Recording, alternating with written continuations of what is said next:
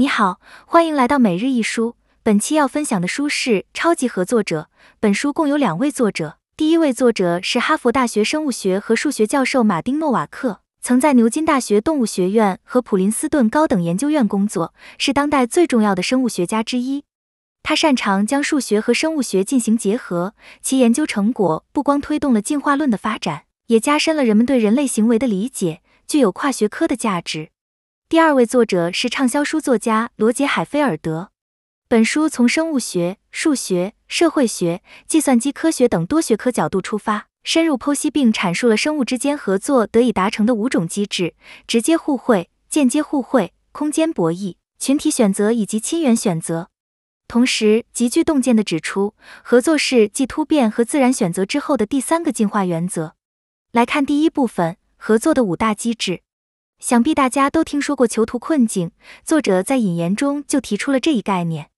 囚徒困境考验的是人们在背叛与合作之间、个人利益与群体利益之间的选择。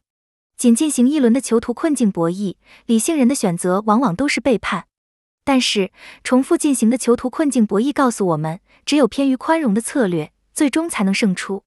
简单来说，就是在有些情况下，即使合作能让两个人在总体上获得最大利益。但如果从自私的角度考虑，我们还是不会合作，而是会选择背叛对方。背叛对个人来说是最佳选择，但如果双方都选择了背叛，总体上的利益就会变小。作者认为，如果从进化论的角度来思考囚徒困境，就会发现自然选择似乎并不支持合作，而是偏向于自私自利的竞争，因为合作者的生存机会总是低于背叛者的。但事实是，无论是蚂蚁这样的社会性生物，还是人类社会都有大量的合作案例。作者认为，自然界里一定有一些机制，可以在自然选择的过程中把竞争转化为合作。这就是我们要说的五种机制：一、直接互惠机制。我给你挠挠背，你也会给我挠挠背，这就是对直接互惠的最好解读。当两个个体再次碰面的概率高于无私行为的成本收益比时，直接互惠就能引领合作的进化。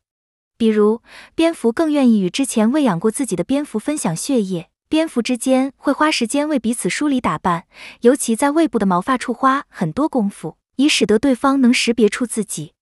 这样的互惠行为在许多俗语中都有所体现，譬如以牙还牙以及善有善报。但如果蝙蝠只需要打一次交道的话，那很有可能先得到好处的一方，下次就不会采取合作行为。但在自然界的实际情况中，为了让直接互惠发挥作用，双方需要不断重复接触，这样才能有机会用一方的好意回报另一方的好意。他们可能生活在同一条街道或同一个村庄，也许是一起工作的同事，或者每个周日会在教堂碰面。在吸血蝙蝠的例子中，他们都栖息在同一个山洞里。通过这样的方式，他们就能在相互帮助的基础上形成接触。作者把所有这些因素都考虑到之后，利用自己的专长做了一个数学模型，输入到计算机里，然后看看在长期的博弈中，到底采取哪种博弈策略能占据优势。这个模型运行起来之后，作者发现有一种策略具有比较明显的优势，叫宽宏以牙还牙策略。什么意思呢？宽宏的以牙还牙比以牙还牙要更大度一点，是说你帮我一次，我下次一定帮你。但如果你背叛我一次的话，我下次也还是有可能跟你合作，继续帮你。当然，这需要看概率。采用这种策略的人更宽容，更容易与对方达成合作，而合作给双方带来的好处远比背叛高得多。所以，采取这种策略的话，占据上风的可能性比较大。所以，通过这几次实验，作者就等于用数学方法证明了进化的确有朝着合作发展的趋势。在长期博弈中，直接互惠机制的确能引发合作行为。二、间接互惠机制。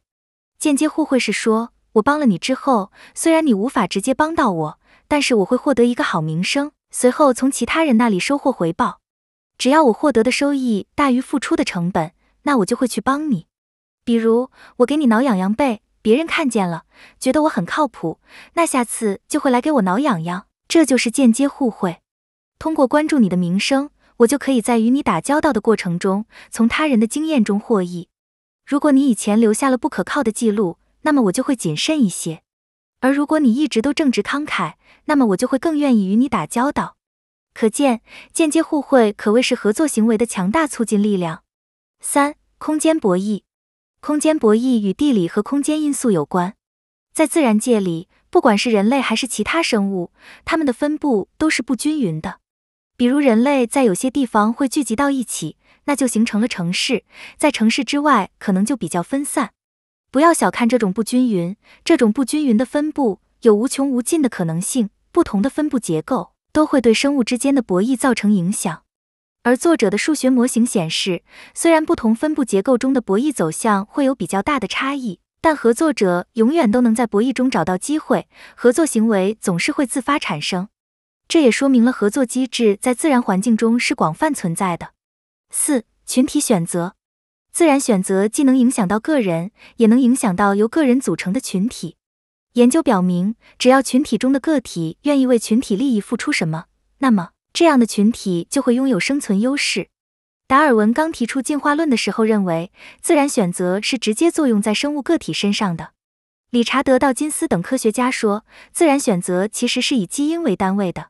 但作者提出，自然选择具有多个层次，并不仅仅停留在个体层面。群体选择在很多情况下是确实存在的。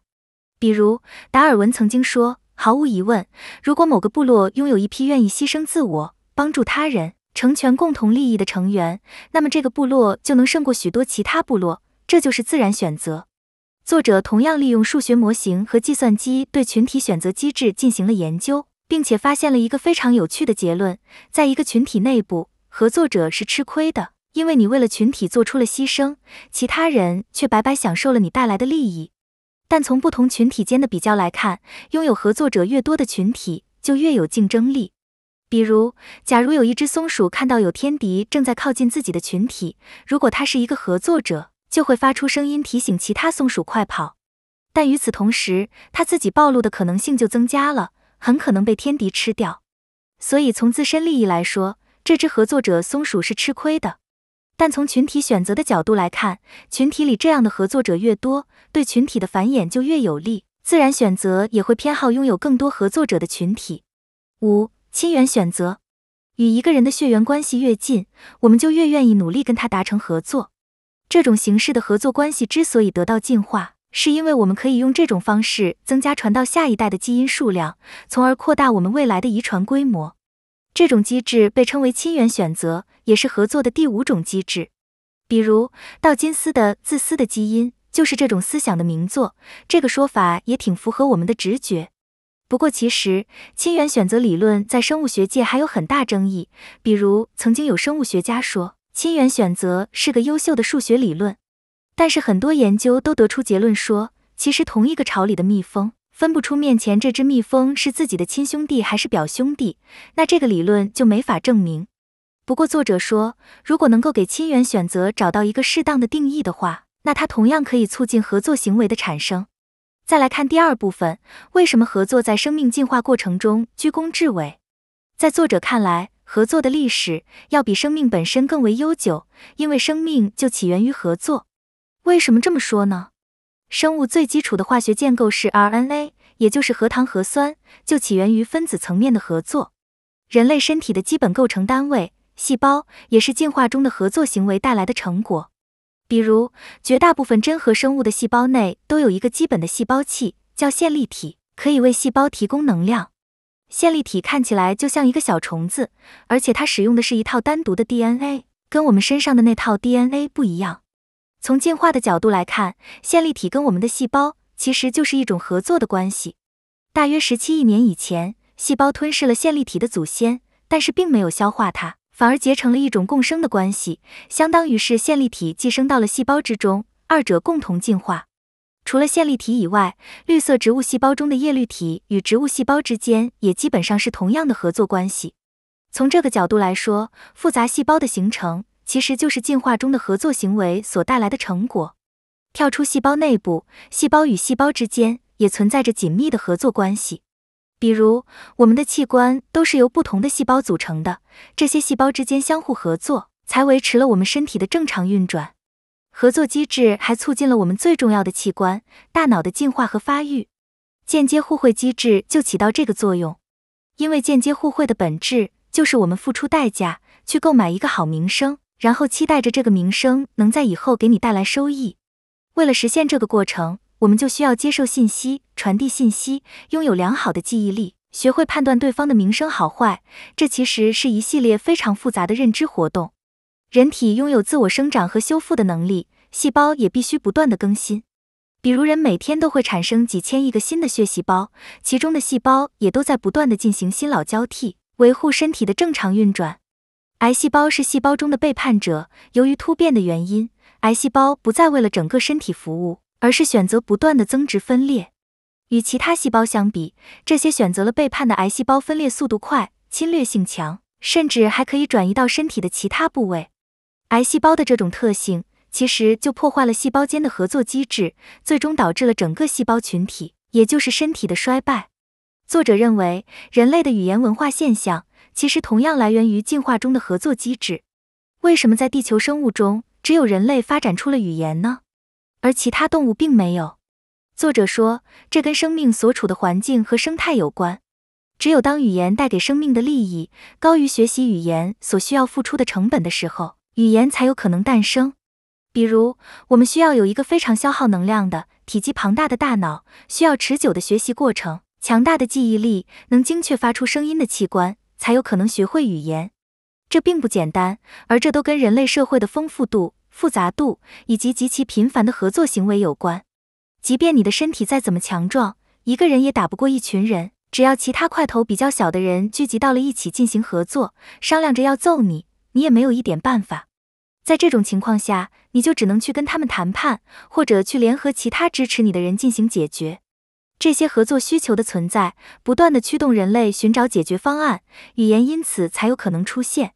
作者认为，语言、大脑和社会在进化过程中是相互关联的，是一种协同进化的关系。再来看第三部分，如何运用合作走出困境。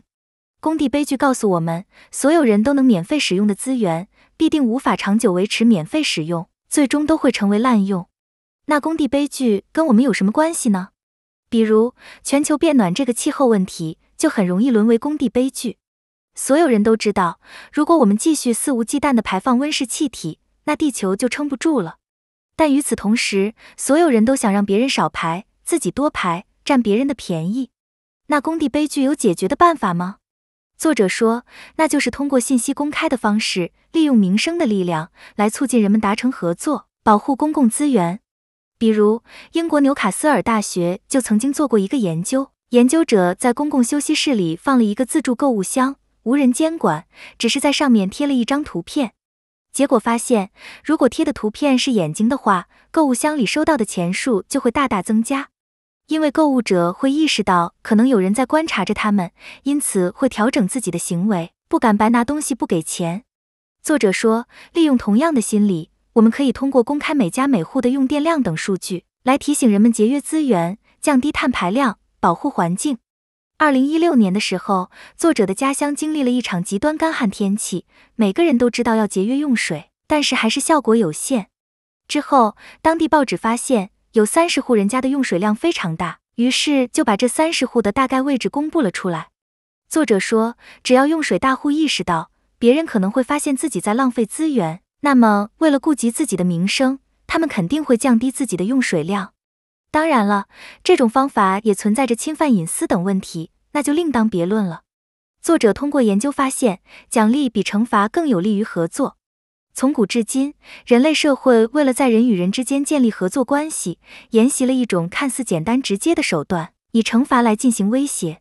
有研究显示，在对别人进行惩罚活动的时候，我们大脑里所产生的反应跟受到奖励时是一样的，能获得一种令人陶醉的满足感。但惩罚并不会促成合作。比如，作者做了一个模仿真实环境的实验，在实验中，玩家两两一组进行游戏。每个人在每一步中都有三种选择，就是合作、背叛和惩罚。合作意味着自己付出一块钱，让对方得到三块钱；背叛意味着从对方那里拿走一块钱；惩罚意味着自己付出一块钱，而让对方损失四块钱。经过长时间的博弈，作者发现，一直保持合作的玩家成绩最好，相互惩罚的玩家成绩最差。表现最好的六个人，自始至终都没有采取惩罚手段。而分数最低的玩家使用惩罚手段最频繁，导致激起了冤冤相报的恶性循环，所以成绩最差。从这个结果上来看，惩罚者不可能成为最终的赢家。而气候问题这样的公共品博弈或者其他社会问题，参与人数都是超过两位的。所以作者随后又做了一个实验，把实验对象改成了四人一组。结果发现，如果组内所有的玩家都不使用任何的惩罚或奖励手段，就会陷入到典型的工地悲剧中，大家都想着占别人便宜，相互之间又无法制衡，最终只得到了很低的分数。这就是因为惩罚的代价太高，双方都受损，所以喜欢惩罚的玩家最后的总分也很低。相比较而言，奖励手段也能引发合作，并且双方都有所收益，最终能得到最高的分数，算是最佳选择。所以作者说，我们可以通过信息的公开，找到那些不守规矩的人。然后，对于这样的人，我们干脆也不合作了。与此同时，我们还可以对合作者予以奖励，这更能促进合作行为的产生，最终解决问题。总的来说，作者认为自然选择可以通过直接互惠、间接互惠、群体选择等五种机制，将竞争转化为合作。生命的起源、生物的身体、人类语言的诞生，都与进化中的合作行为有关。人类要想走出气候变化等工地悲剧困境，也唯有通过合作才能成功。好了，这本超级合作者就分享到这里了，我们下期再见。